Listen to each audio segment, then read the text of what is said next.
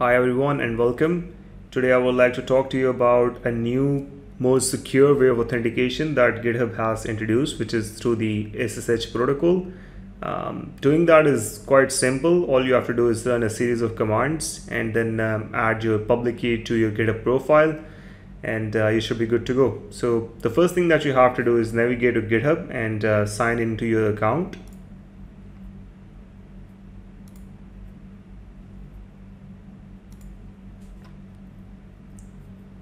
Now, before we add the keys, I'd just like to show you how you can use that to clone any projects. So I'm going to click on this one. And from here, I'll click on code and select the SSH tab. I have the link over here, so I'm going to copy that now and then go to git bash I already have Git Bash installed. In case you do not, uh, you can see my video which should be appearing on the top right corner now. So let's try to clone this repository.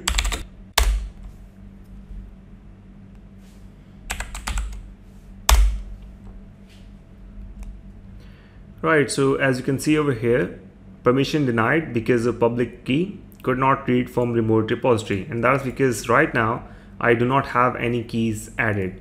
So let's go ahead and uh, try to add those keys. For that, on the top right corner, click on the profile icon and then from there navigate to settings. Once you're in the settings tab, click on SSH and GPG keys now over here, GitHub has provided a very helpful article uh, which lists all the commands that you would need to run. It can be a bit confusing, so I'm just going to use that as a reference and then only run the relevant commands. So from here, we want to go to the third link, which is generating a new SSH key and adding it to the SSH agent. So let's scroll down a bit and this is the first command that we want to run. And this right here is a placeholder where you will be entering your email address that is associated with your GitHub account. So I'm going to copy this now and run this in the git bash terminal.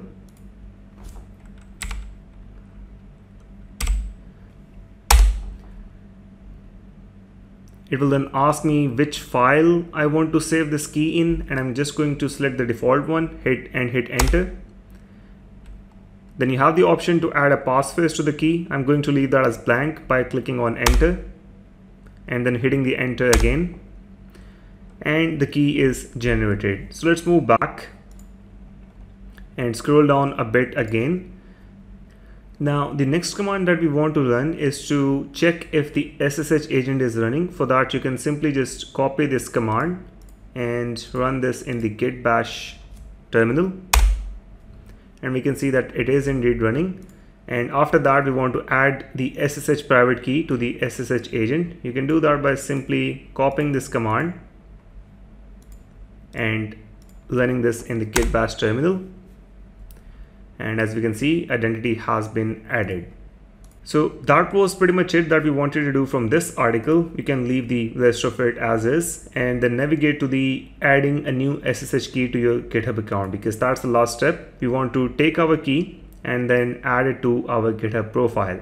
For that, copy this command and run that in the git bash terminal. And what it would do is copy to the clipboard uh, the relevant content that needs to be pasted over here. So move back to this window, which was under settings and then SSH and GPG keys. In here, click on new SSH key. And when you right click and select paste, it will copy the key that needs to be added. You can give it a user friendly title to help you remember where this SSH key was added on. So I'm going to uh, name it Windows VM